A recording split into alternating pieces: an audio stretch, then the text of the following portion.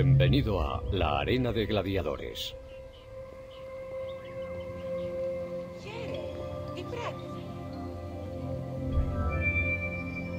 Aunque las peleas de gladiadores no existieron en Cirene hasta más adelante, el equipo decidió introducir una arena por dos motivos. Primero, por considerar que era importante retratar ese aspecto de la vida romana. Y segundo, porque añadía un elemento interesante al juego.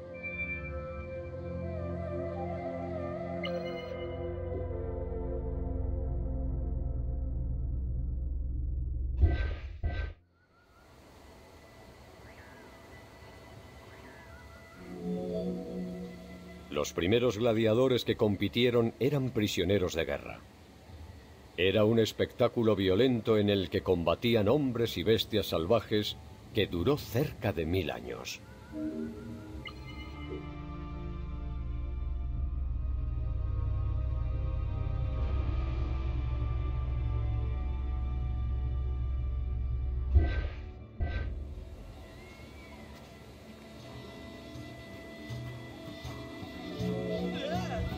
Al final, hubo voluntarios que se ofrecían a luchar en busca de fama y fortuna.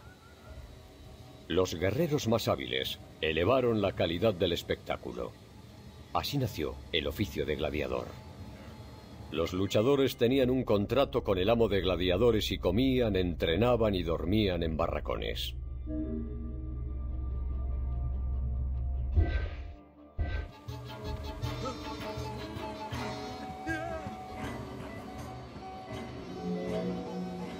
Los gladiadores se separaban en dos categorías, guerreros de armadura ligera o pesada, cada una con su equipo y armas específicos. Los organizadores solían enfrentar a las dos facciones favoritas del público.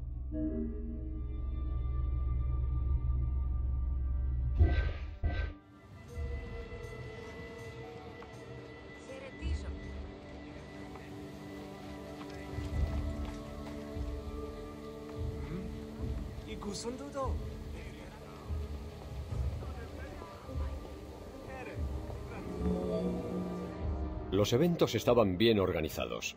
Las luchas contaban con música de fondo y eran supervisadas por un árbitro.